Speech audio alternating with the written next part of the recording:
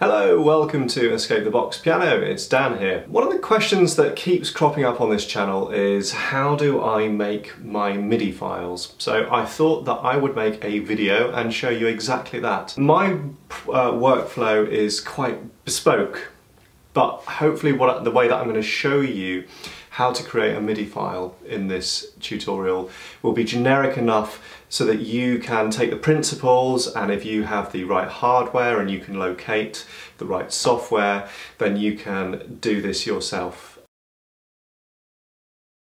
At a most basic level, the bits of hardware that you're going to need are a MIDI equipped keyboard, such as this one, uh, a computer, and a lead to connect the two of them. So we make the assumption now that you've got a keyboard and you have a computer. Let's take a look at the keyboard first. Take a look at the back panel of your piano keyboard and you're going to find a section where there are some inputs and outputs. There's uh, going to be an input where you plug in the power. There may be outputs for audio. If your keyboard doesn't have speakers built into it, uh, you're going to need to get the sound from somewhere else. Even if it does have speakers built in, you may still have audio outputs. The output that you're looking for is a MIDI output, and that is not the same as audio. Audio is exactly that, it's sound, whereas MIDI is computer data about the sound, but not the sound itself. On this keyboard, the MIDI output is uh, one of the old style squarish USB connectors. Uh, on your keyboard, it, it could be anything from a standard USB, perhaps through to a 5-pin DIN plug. Now if you don't have a MIDI output on your keyboard, all is not lost. There are audio to MIDI converter devices that you can buy. So another little bit of hardware that sits in between the keyboard and your computer.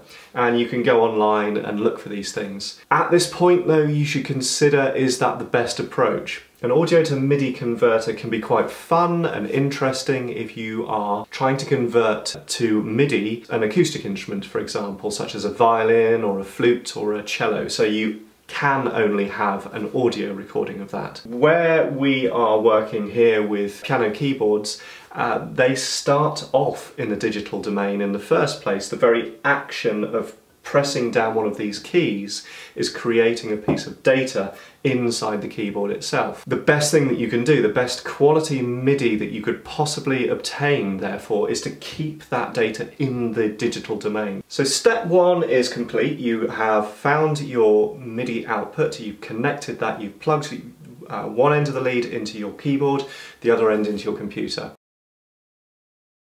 Step two then is to make sure that you've got drivers installed for the um, specific make and model of your keyboard. Because although you've now got uh, a connection from the keyboard where it's sending data to the computer, the computer has to understand what on earth that data is in the first place, and that's why you need a driver. Best thing to do is go online, type in the make and model of your stage piano, your piano keyboard, followed by the word uh, MIDI driver and then perhaps also your operating system. Download and install the MIDI drivers. Step three then is that you are going to need an application where you can record yourself playing your piano keyboard and record that data that's going into the computer. There are loads of programs available for free and paid. For example, on the Mac, we have GarageBand. My program of choice happens to be a digital audio workstation by a company called Presonus and it's called Studio One. It's currently in its fourth generation. The version that I use is a free version, Studio One version 4 Prime, and you can download that from their website. I really like it, it does everything that I need, it allows me to record my piano, it records the MIDI data, and it allows me, importantly, to save that as a MIDI file. So, step one, step, step two, step three, all complete. Step four then is to record a song. So here we go. Note that one of the uh, things that you're probably going to need to do before you even get to start recording is configure the pro the application that you've chosen. uh, to recognize your MIDI instrument and that's probably nested away somewhere in uh, settings or configuration panel. Um, in PreSonus for example it's in external devices here. You can see I've already got my uh, CP33 uh, stage piano set up so that's all good. Uh, then you will need to add a track on which you're going to record. So we can do that over here, add tracks, and we're gonna just, I'm just gonna call this track. Uh, this is gonna be an instrument, and the input is going to be my stage piano. And we can OK on that. Now, if I press a note on the piano, you can see it's being recognized on the track over here with the orange kind of metering.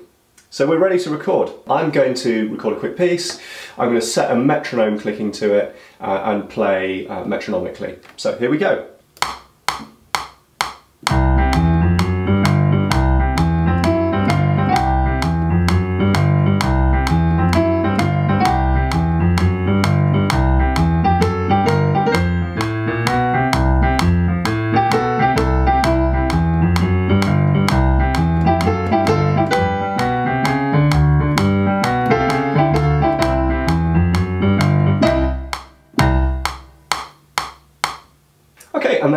We've made a recording down to the application. Now we can replay that to hear what it sounds like.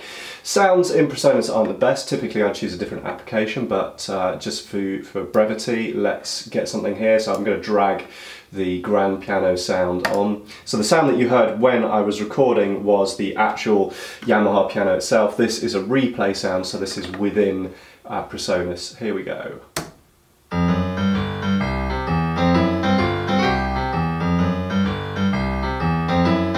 Okay, so there we go. So that's the replay. If I double click on the track here, I can see the individual MIDI note data. And then finally, I can choose to save this down to the desktop. So save as, and then we can choose what we're going to save it as, MIDI file here, save, MIDI file test, use MIDI file format, okay, put that to the background, and go into the test folder that I created and there we go, there is the MIDI file. Well, I hope you've enjoyed this video. If you have, do keep an eye out. I'm going to do some follow-up videos on further things, manipulation and uh, uses for MIDI files, so keep an eye on the channel for that. And I look forward to seeing you soon.